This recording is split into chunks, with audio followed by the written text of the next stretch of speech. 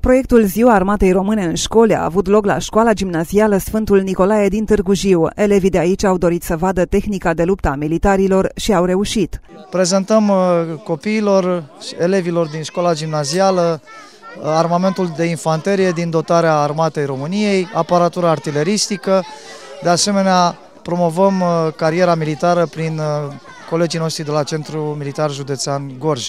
Stațiile radio, armamentul și echipamentul de luptă individual au fost principalele puncte de atracție ale elevilor, iar întrebările cu care i-au asaltat pe militari au scos la iveală interesul crescut pentru puștile pe care, cel mai probabil, le-au întâlnit în jocurile pe calculator.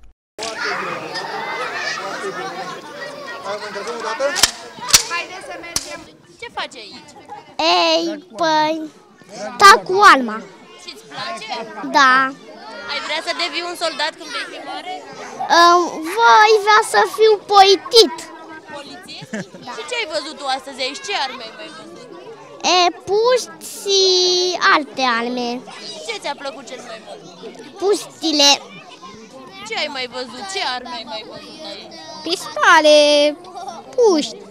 Ce ți-a plăcut cel mai mult? Pistolul. Militarii le-au explicat și cum se folosește o armă, dar și cât de periculoase pot fi acestea dacă nu sunt utilizate corespunzător. Acesta se pune pe umăr aruncătorul de grenade, de aici o țin, da? Da, Așa Ave, uităm. avem film. Exact, da, și ne uităm acolo un tank cu inamicului, da? Îl armăm, avem aici un dispozitiv din care îl armăm, da? Așa? După care când am vizat obiectivul, dezasigurăm, executăm foc și pleacă o lovitură din aia mare și distrugem inamicul, da? Ziua Armatei Române este sărbătorită în fiecare an pe data de 25 octombrie.